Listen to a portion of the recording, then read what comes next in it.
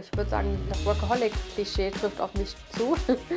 yes, okay, so you're also on the project now. Ich hatte einfach schon immer Spaß daran, auch Geld zu verdienen. Ich gönne mir gerne mal was, aber ich muss es jetzt nicht äh, aus dem Fenster schmeißen.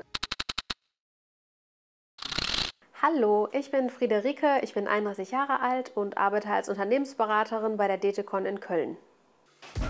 Ich kann Kaffee den ganzen Tag trinken, aber ich versuche nicht mehr als eigentlich so ein Ding dann zu trinken. Blooming-Phase, ne? damit erst die Bitterstoffe rausgehen. Und dann mache ich mir meistens noch einen Apfel.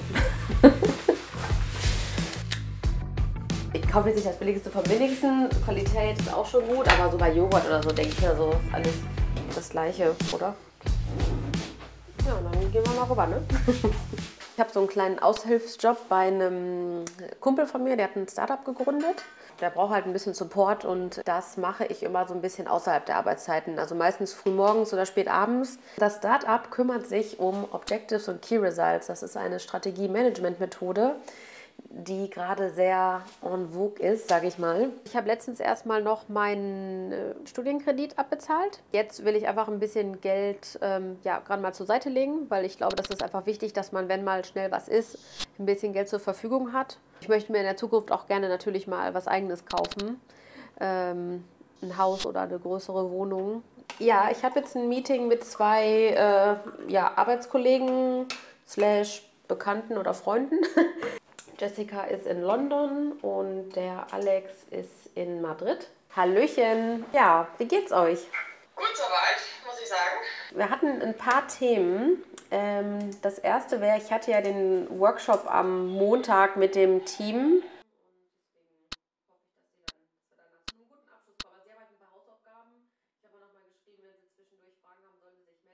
Ja, dann bis bald. Genau, danke euch auch. Bis dann. Ciao, ciao. ciao.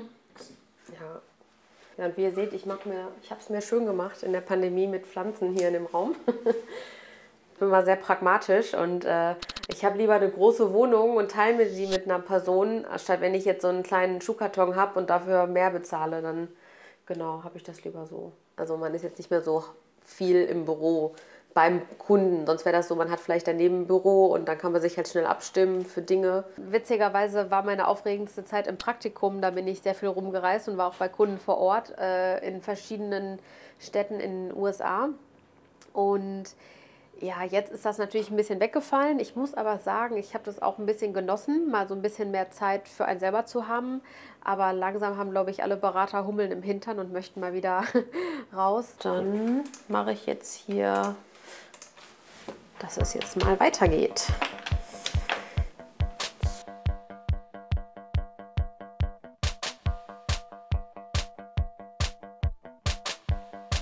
Man sagt ja auch ein bisschen People-Business zur Beratung.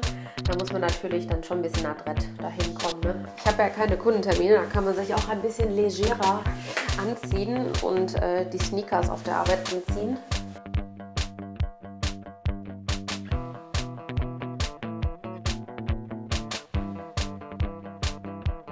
Ich habe mir das Fahrrad von meinem ersten Gehalt geholt. Das war äh, für mich so, dass ich einfach mobil sein wollte und äh, in der Stadt ist ja auch alles nah. Je nachdem, wo mein Projekt ist, werden dann so Reisekosten ja von, ähm, von der Firma getragen.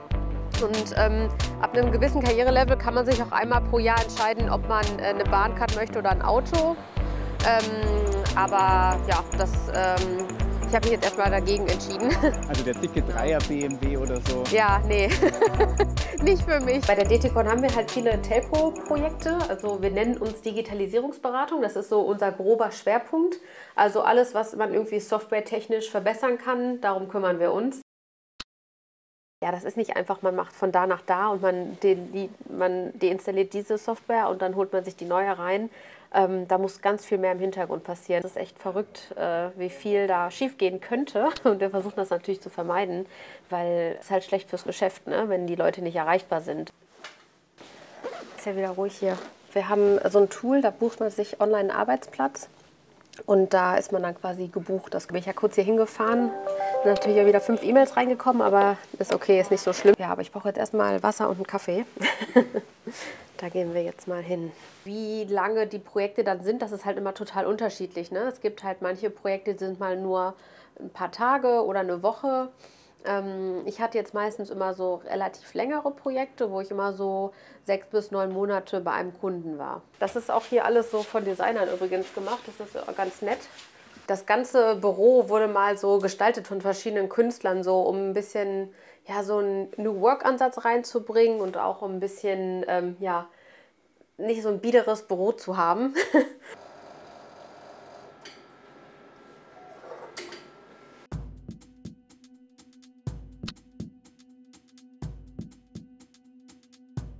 Für allen müssen da wohl auch Nummern hinterlegt sein. Das habe ich ganz unten hingeschrieben. Ähm, und die fehlen irgendwie. Also das hatte der Harald gesagt.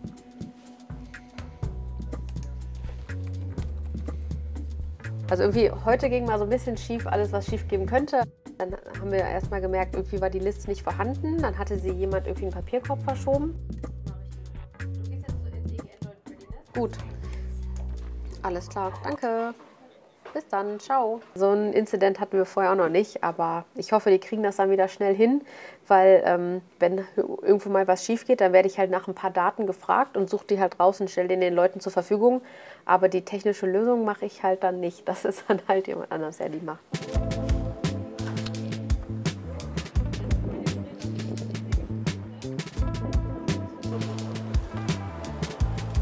Früher, als noch nicht Pandemie war, da habe ich mir dann auch öfters was mitgenommen.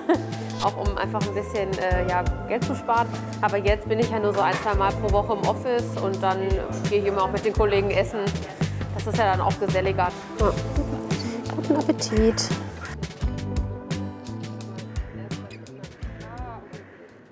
So, jetzt muss ich aber auch schnell weiter für den nächsten Termin. Und da brauche ich ein bisschen Ruhe, deswegen suche ich mir jetzt mal ein lauschiges Plätzchen.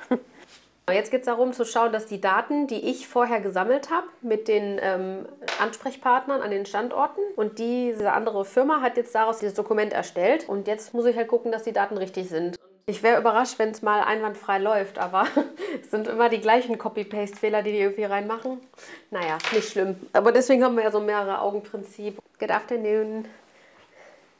Hi, I'm doing great. Point we have to look at this again, but at least it's um, If it's some sort of correct until the end or in the middle of next year, that's already a good, good thing. Wenn man Unternehmensberatung machen möchte, kann es jeder probieren und ich glaube, es gibt eine Unternehmensberatung, die einen einstellt und wenn man dann, wenn es dann nicht passt, dann merkt man das im Job. Also als Unternehmensberater kann man sich halt nicht verstecken. Ne? Also ähm, hilft es, glaube ich, sich vielen Lebenssituationen gestellt zu haben und dann extrovertiert da dran zu gehen und die Dinge in die Hand zu nehmen und ähm, versuchen dann die gut zu steuern. Thank you too and speak soon. Have a great vacation and see you back in a week. Ja, Und? Bisschen länger gedauert. ja, das war jetzt auch wieder witzig. Also, äh, das geht äh, drauf und drüber mit den Jungs. Also, das ist halt eine, keiner von meinem Kunden, sondern das ist eine andere Firma, mit dem ich gesprochen habe. Und äh, die sind sehr nett natürlich, ähm, aber also, die, also er hatte jetzt vergessen, die Sachen abzuspeichern, die wir beim letzten Mal gemacht haben.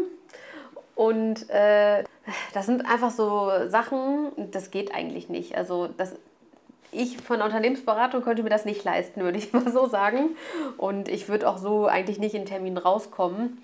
Ist jetzt nicht dramatisch, ist jetzt kein äh, Beinbruch, aber wäre schöner gewesen, es äh, fertig zu machen. Ja, wie geht's dir?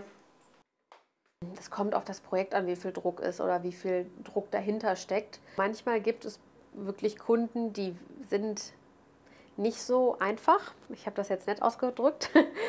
Und die erwarten sehr viel von dir. Ähm, es gibt aber auch Kunden, die sind nicht so. Und ich glaube, das ähm, also es macht halt Spaß, beides mal zu erleben, weil man da, glaube ich, unheimlich viel lernt, wenn man so einen etwas äh, anstrengenderen Kunden hatte. Ich hatte auch schon Kollegen, wo das dann, äh, die wirklich immer sehr auf Zack sein mussten, weil der Kunde auch mal um 10 Uhr abends anruft oder so oder noch irgendwie mit dem vom äh, dem um neuen Termin reinstellt, um Dinge zu besprechen. Mein Gehalt setzt sich zusammen aus meinem Grundgehalt von der DTCon, dann haben wir noch ein Bonusgehalt, das sich, ähm, ja, das sich daraus ergibt, dass ich meine Ziele erreiche.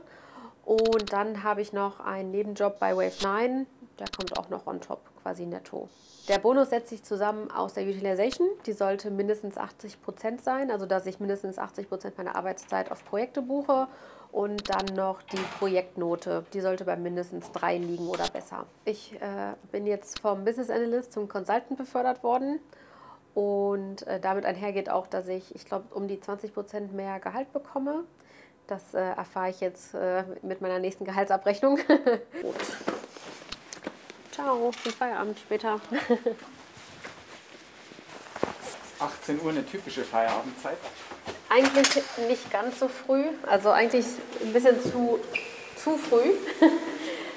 Aber ich habe jetzt noch was vor und deswegen muss man sich die Zeit auch mal nehmen. Ja, ich würde sagen, die Worker, das Workaholic-Klischee trifft auf mich zu.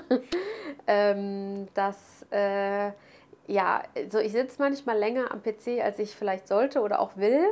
Aber ähm, da gibt es dann einfach Aufgaben, die mir Spaß machen und dann möchte ich die auch noch fertig machen oder einfach Aufgaben, die fertig gemacht werden müssen. Prost auf uns, dass ihr da seid. Wir machen Rundlauf, oder? Ja. Ja. Ja. Oder willst du alleine von uns fertig gemacht werden? Also unter der Woche muss man sich auch mal Zeit für sowas nehmen. Aber irgendwie äh, sind ja auch alle in meinem Alter berufstätig und haben dann nicht immer so viel Zeit dafür. Aber man braucht auch mal ein bisschen Zeit für sich, ne? Aber muss halt auch mal sein. Gerade wenn die Freunde so nah wohnen, ist das doch schön, ne? Aber der ist da noch dran gewesen. Der war. Ey, wie krass bist du denn? Hier so, ne? So dran geschlittert. Ja, aber der richtig fies. Für mich lohnt es sich, weil ich äh, viel lerne, viel Spaß bei der Arbeit habe, spannende Projekte habe, viel daraus lerne und äh, die Bezahlung auch soweit schon ganz okay ist.